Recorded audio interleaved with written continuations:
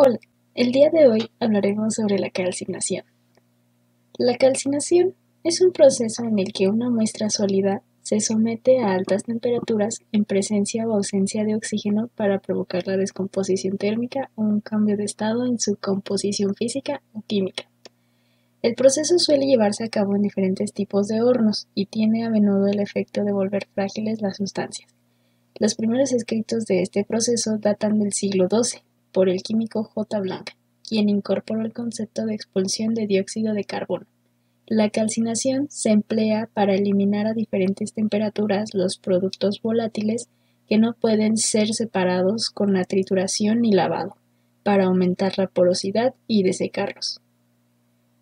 Tipos de calcinación. Para fines prácticos hablaremos de los cambios en el sólido por incremento de temperatura. Por ello, la clasificación química es aquella donde la muestra, el sólido o precipitado, sufre una descomposición térmica. El compuesto no es el mismo después de que se hayan aplicado las altas temperaturas. En la calcinación física, la naturaleza de la muestra no se modifica al final, aunque se haya liberado un vapor de agua u otros gases. La calcinación tiene diferentes objetivos, como eliminar el agua presente en forma de humedad, eliminar compuestos como el dióxido de carbono, dióxido de azufre u otro compuesto orgánico volátil. También se usa para oxidar una parte o toda la sustancia, calcinación oxidante, o para reducir metales a partir de sus menas, calcinación reductora. Condiciones necesarias. Para que la calcinación se lleve a cabo deben ser tres. 1. El mineral debe ser calentado hasta la temperatura de disociación de los carbonatos. 2. El piso térmico debe ser mantenido durante un lapso de tiempo. 3. El gas carbónico que se genera a partir de la disociación debe ser removido de la zona donde se genera. Y tenemos dos notas. Todos los sólidos inorgánicos u orgánicos pueden calcinarse siempre y cuando no se fundan, y el proceso de calentamiento debe darse por debajo del punto de fusión de la muestra, a menos que se trate de una mezcla donde uno de los componentes se funda mientras los otros permanecen sólidos. Proceso. Durante el proceso se libera todo el agua que contiene el material. La naturaleza química del material cambia y se genera una transformación. Sustancias como el oxígeno o el hidrógeno se descomponen y se forma el CO2 y el H2O. El nitrógeno actúa con el oxígeno y forma óxidos volátiles. El azufre actúa frente al oxígeno y forma híbridos. El proceso de calcinación varía en función de la muestra, las escalas, el objetivo y la calidad del sólido después de su termotratamiento. Las reacciones de calcinación pueden incluir disociación térmica, incluyendo la destilación destructiva de los compuestos orgánicos, es decir, calentar un material rico en carbono en ausencia de aire u oxígeno para producir sólidos, líquidos y gases. Se suelen someter a procesos de calcinación materiales como los fosfatos, la alumina, el carbonato de magnesio, el coque de petróleo o la magnesita marina.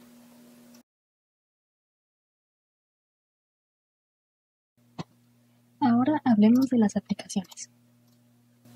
Para calcinar carbonatos, pues, se someten a altas temperaturas liberando óxido de metal y dióxido de carbono, generando una reacción altamente endotérmica. En este ejemplo podemos ver el carbonato de calcio aplicándole calor y nuestra calcinación genera óxido de calcio y libera dióxido de carbono. Cuando se calcinan hidróxidos, se libera un óxido metal y vapor de agua. En este ejemplo, el hidróxido de hierro más calor genera un óxido de hierro más un 3H2O. Para calcinar sulfatos, al momento de aplicar calor, se genera un óxido metal y trióxido de carbono.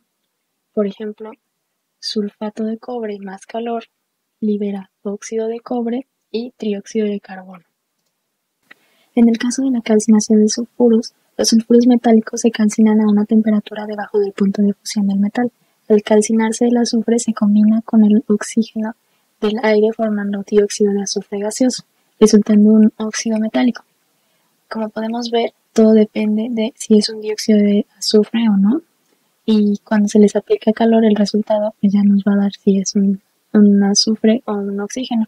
Y acá tendremos que la liberación del dióxido de azufre va a ser en un medio, que es 0.5.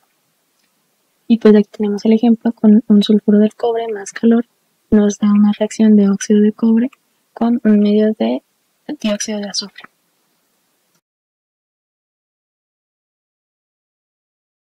Equipos de calcinación.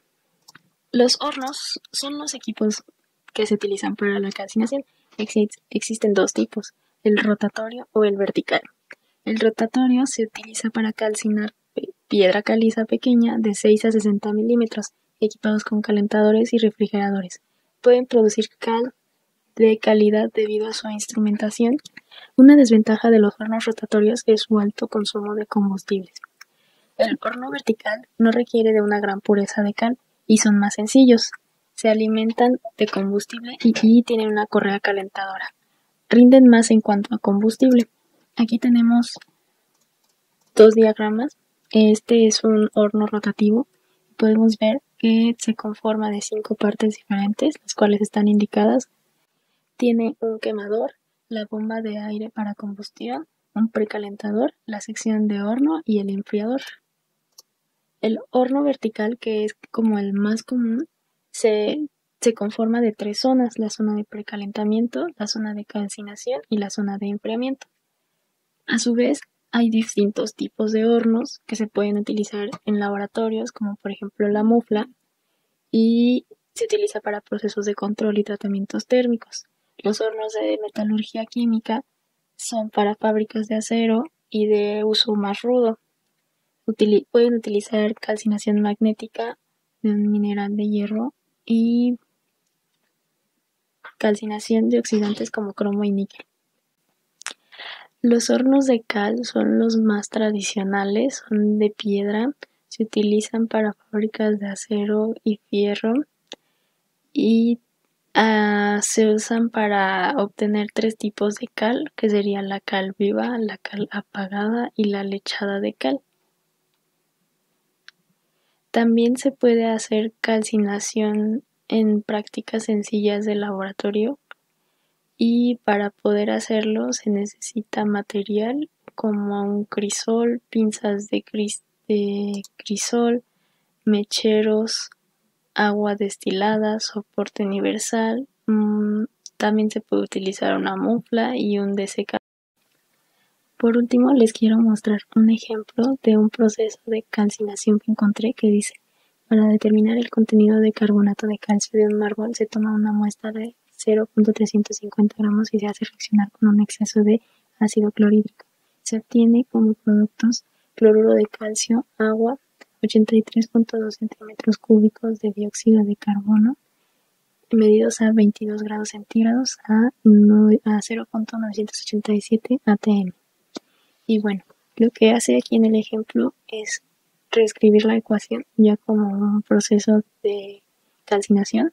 Y recordemos que este proceso va a ser una calcinación de carbonatos y nos va a liberar el CO2, la humedad que se va a liberar y el cloruro de calcio. Posteriormente, con la ecuación del gas ideal, obtiene los moles por dióxido de carbono y después la masa, que será 0.3395 gramos. Para obtener el porcentaje de masa de carbonato de calcio, lo único que hace es una relación donde pone la masa inicial y la masa calculada y lo multiplica por 100 y nos da un 97% de... En el siguiente inciso vuelve a plantear la ecuación química, pero esta vez ya sin el agua ni nada, y ya más directa como una reacción de calcinación de carbonato. Y lo que hace es lo que hace es obtener el número de moles del 97% que ya teníamos y luego nada más se hace una relación del 80% de lo que nos está pidiendo y ya con eso puede obtener la masa final que serían 434.56 kilogramos de cal viva en un mármol.